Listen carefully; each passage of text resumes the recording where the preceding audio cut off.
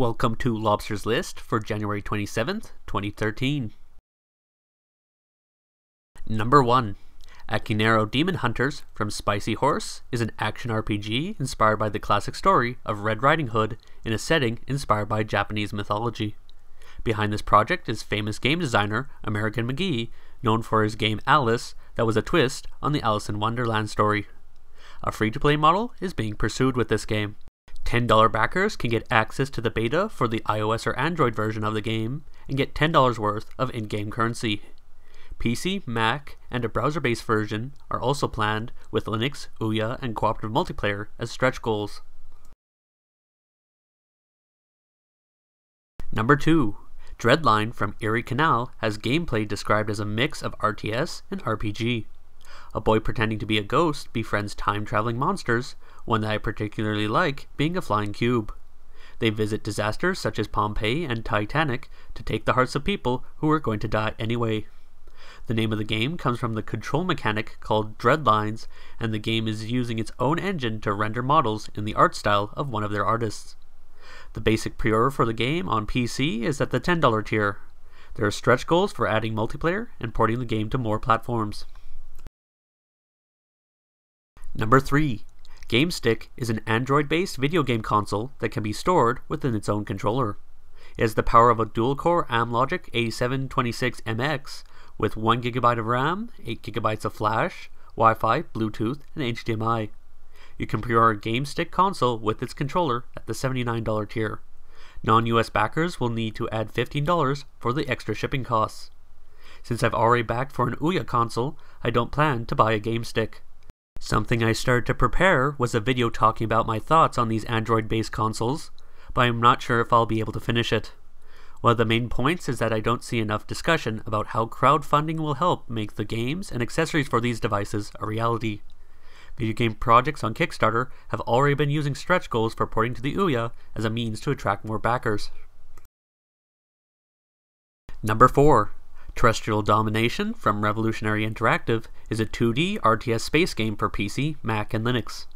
Colonize worlds, deploy space stations, build shipyards, and create fleets to take hold of other worlds.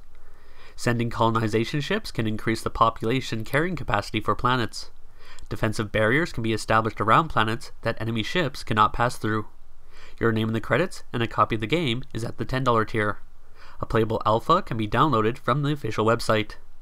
Some possible features are super weapons like building a space station near a sun to redirect solar flares. Number 5. Minion March from Once Over Productions is a tower defense genre game with some twists to the standard formula. Keepers of the underworld are trying to stop the escape of various minions. These keepers are its equivalent to towers and can be freely repositioned. Instead of whittling down the health points of minions, a tactic that is encouraged is using forces to push or pull minions over the edge of cliffs. Push enough minions into a specific pit, and it can trigger environmental effects. Development is targeting the platforms of PC, Mac, and iOS, with Android as a stretch goal. Backers at the $5 tier are invited to be beta testers for the PC only beta, and they can get their names in the credits. The $8 tier adds a pre order for when the game is released for PC or Mac. Is rare to see free shipping to Canada, which is something I, as a Canadian, like to see. Now on to honorable mentions.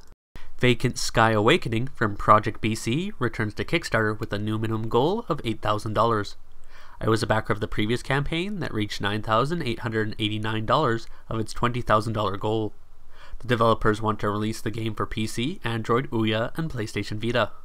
Episode 1 and your name in the credits are included at the $10 tier, while all 8 episodes are at the $45 tier. This time they want to use Monogame instead of RPG Maker. Neocolonialism from Subaltern Games is a multiplayer game about conquering the world through economics and manipulation rather than open warfare. You can operate mines and factories, with trade routes able to link a factory with distant mines. Mechanics for buying political power and making trade agreements are also important. A link to a playable PC alpha is on the game's website. The final release also plans to support Mac, Linux, and iOS. You can help support this game by backing at the $10 tier for a download of the final game, your name in the credits, and an account needed for online multiplayer. A lot about this game reminded me of DEF CON from Introversion Software. Welcome to Hell is a hand drawn animation project to produce a comedic 10 minute pilot episode as the college thesis film of Erica Wester. Welcome to Hell is based on her webcomic of the same name. After accidentally murdering his parents and his own suicide, a teenager known as Sock is offered employment by a manager of the underworld to manipulate others into killing themselves. If you back this project at the $5 tier, you can receive a pencil sketched animation frame from the episode and a download of a desktop wallpaper. There is a PDF file of sketches and notes added at the $25 tier. The project has just met its relatively low $3,000 goal with 4 days remaining. You can read her webcomic on DeviantArt and I really like the premise and character chemistry in the voice acting samples. Fall of Angels is an RPG where you can explore and solve puzzles. An iOS version has already been released, and this campaign is for funding more content and porting the game to PC and Xbox 360. The £10 tier includes the game for PC and a digital collector's book with material like a world map. I found the in game camera angles interesting. Rivet Wars Eastern Front from Cool Mini or Not is a tabletop war game from a company with a successful series of Kickstarter campaigns in the past. The game is set in an alternate universe based on World War I. Units, like walking tanks, can have other units plugged into them, like adding a commander, to provide stat bonuses. It is already past $300,000 funded, with every early bird tier sold out. A pre order of the basic game for two players is at the $90 tier, with non US backers needing to add $25. As it reaches stretch goals, more pieces can be added to the basic game. Thank you for watching, and I hope this helps those projects.